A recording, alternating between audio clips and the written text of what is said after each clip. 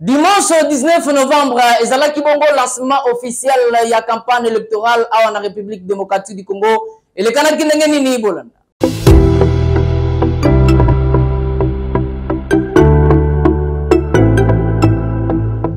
Les élections auront lieu à la date prévue,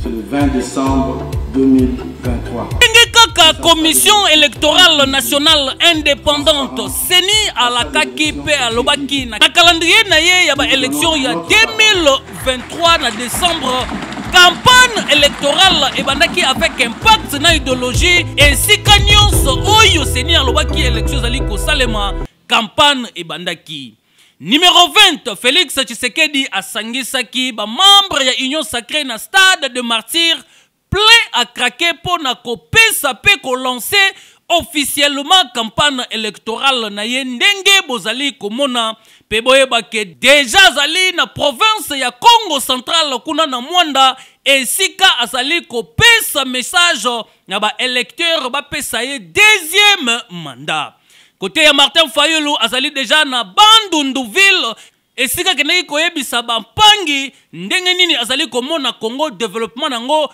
barenouvele toujours confiance na ye mpo adevelope république démocratique du congo candidat numero 3 moïse katumbi chapwe azali deja na province ya chopo kuna na kisangani esika nini alance campagne électorale ndenge bazali kobenga yango à l'américaine mpo na koyebisa batoto ya Kisangani bapesa ye confiance mpo na ko developper Republique democratique du Congo. Pesa passage! Regroupement RDT bango basalaki lancement officiel kuna na eglise Assemblee chretienne Vie Nouvelle Elekanaki ndenge nini reportage ya Maximum Mo Plus?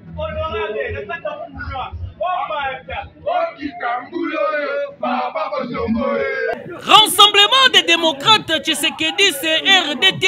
pour na kolancer campagne électorale d'une manière officielle bango baponaki Nzela ya Nzambe pour que nyonso ezala bien planifié epai ya Dieu le Père. Délégation ndenge bozali komona ekitaki na commune ya Selembao sous la direction ya honorable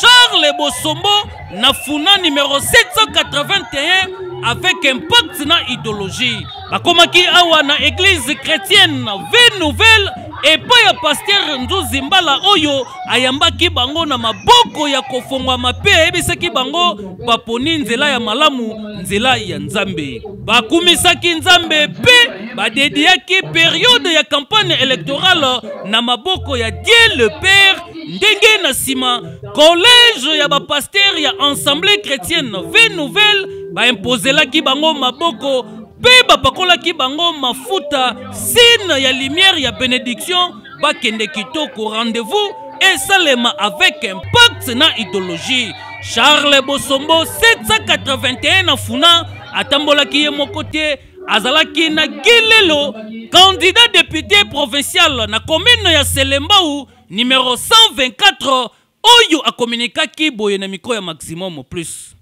Esengelaki toujours ko consulter Tata Nzambe na likambo nyonso oyo tokosala. Yango nde biso lelo toye kobonza eh, milulu oyo ya debut ya campagne électorale lelo le 19 na lisanga oyo epa révérend pasteur nzuzi oyo azali directeur ya campagne na biso ntango basilisaki kozwa benediktio charles bosombo 781 na funa asukaki wana te ayaki kotala baresponsable ya collège memons toujours na commune ya selembau esika asololaki na bango mpe azwaki decision ya kozwa en charge bafrais scolaire ya mois de décembre mpo na kosunga baparent mpe ekole efonctionne malamu na mikro ya maximum plus yoka communication na ye donc biso toza bato oyo bazalaki koapuye baction ya chef de l'état mpo mbala oyo ye mpo topesa ye deuxième mandat bolandi honorable gi ndenge alobi alobi makambo nyonso tu namoni oyo nakoki kobakisa te me nakozwa bino ta mingi te parceke na mbala ya liboso ntango alekaki ngai nazalaki awa te biso na honorable gi tosali geste moko mpo na oyo ezoconcerne minerva ya bana mois de décembre biso tolobi tozozwa en charge charles bosombo atikali Leader ya commune ya Selembao mpe ya district ya Funa numero 781 oyo bana ya Funa esengeli batya maboko bavote mpo motema na ye ya malamu intelligence na ye nde ekosala ke azala molobeli ya malamu bana ya Selembao Gilelo azali wana na numero 124 provincial bovote ye mpo basolution ekoma na niveau ya ba ensemble charles bosombo na funa 781 ticket gagnant pesa passage matata mponio sete kikuni frank diongo bango badesiste en faveur ya moïse katumbi bozwa ba detail na message oyo après basise oyo esalamaki na pretoria na afrique du sud mpo na kodesigne candidat commun ya opposition na niveau ya présidence de la république esengeli boyeba ke ancien premier ministre augustin matata mponio na message moko alansaki desistement na ye mpo na faveur ya candidat numero 3 moïse katumbi oyo bango bazali kosoutenir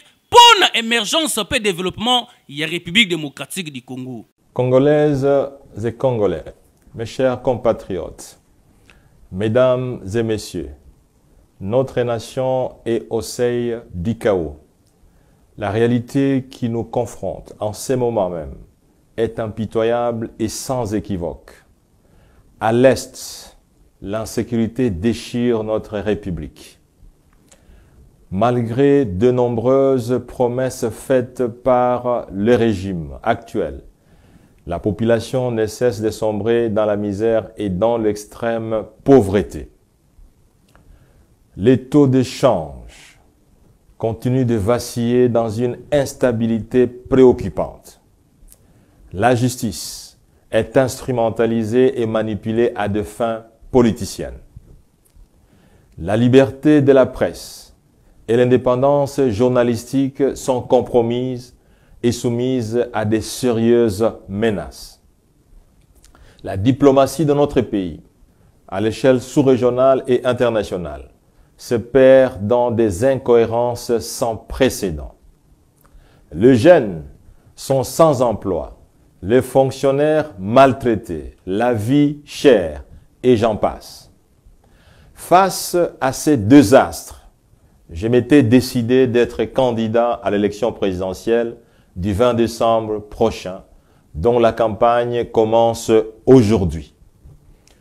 Mon objectif principal était de libérer notre nation de cette spirale infernale dans laquelle les Congolais sont piégés depuis trop longtemps.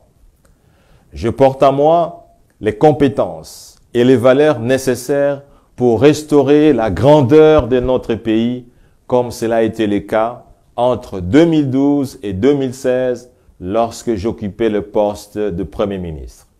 Cependant, dans le souci de se maintenir coûte que coûte au pouvoir,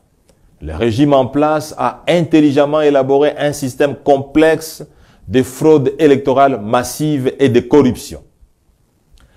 En vue de maximiser les voix et surtout pour faire échec à la manœuvre du pouvoir, L'urgence d'une candidature unique de l'opposition s'impose comme la meilleure stratégie qui soit. Telle est l'avis de tous les experts.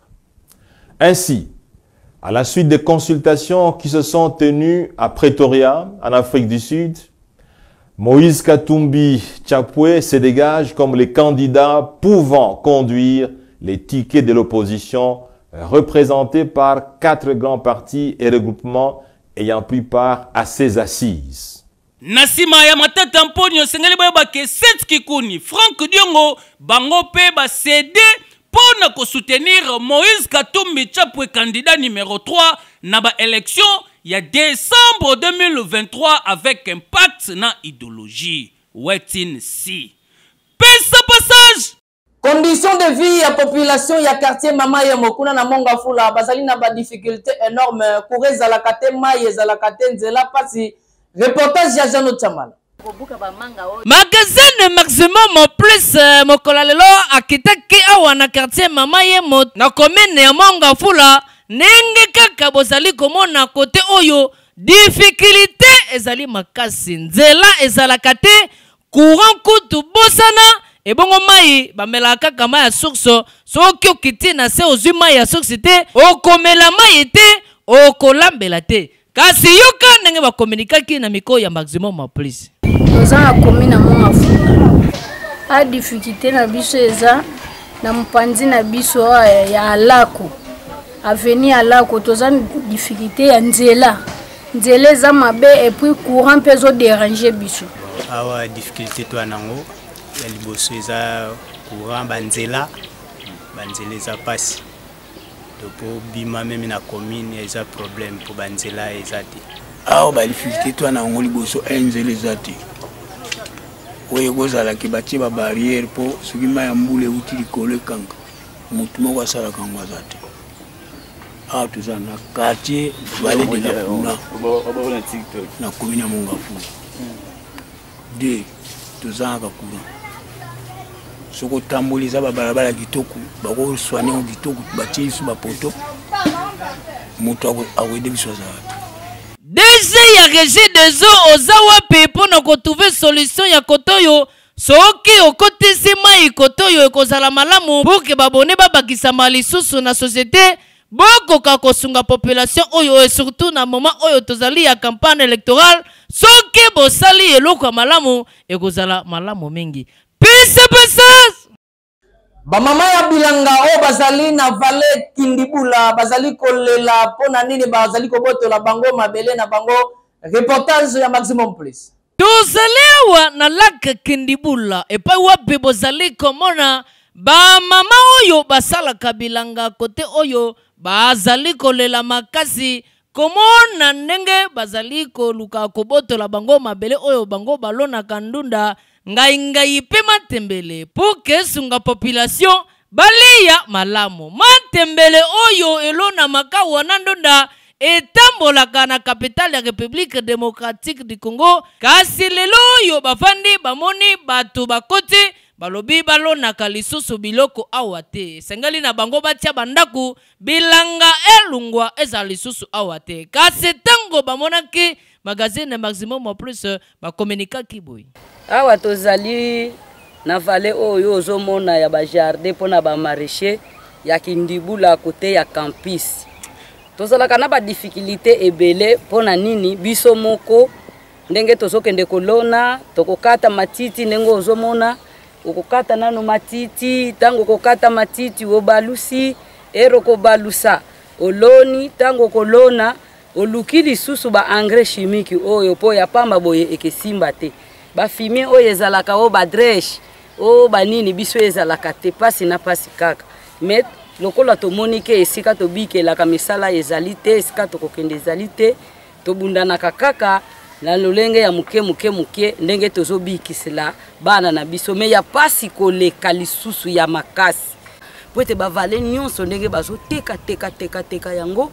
biso tokosala ndenge nini mpasi mpenza toza na yango soki bakonzi bakotala likambo oyo te ata soki baye kutu baye kokuta yo oke ndongo yo ozosala wana bapesi yo ata mwa quelque chose okende kobandela ndenge mosusu me ntango obaye wana ata eza ya yo ezala ya yo te ozala locataire ozala kolo bilanga ndenge baye wana basi baborne yango bamesire yango ya 15 sur 15 yo moko kolo mabele oyo ozosalela kende kosomba yango na 4000 dollars okakoli obandi kopesa mbongo ndambu ndambu ndambu mbongo nanu kutu eza te donc eza faso ya kobengana biso mpe faso ya koboma biso ndenge bazosalela oyo oh, ngai nakoki kobakisa bakonzi ya mboka batalela biso likambo oyo kaka ndenge alobi eza ndenge wana bakutimie bazolinga tokende kosomba mpa na bango me bamilio wana oyo bango batie biso toza nango te tokosuka wapi ntango baesika oyo bato bakoki kolona kosala bilanga bato baliya population sepela bazali koboma bilanga mpe koma bandako na ba flat hotel kasi ekosuka ndenge nini epourtant moma oyo tozali esengi te bato balona pour que population aliya kitoko kasi tokosenga na bakonzi ya mboka bayeba nanu kolandela dossier oyo malamu pamba te bamama oyo bazali baveuve mosala na bango ezali balona ndunda matembele ngaingai mpo ke population alia malamu kasi lelo oyo bango bazali kobengana bango bakosuka ndenge nini bakonzi bolandela nanu likambo oyo boyeba nani oyo azali hotel ya dossier oyo pesa passage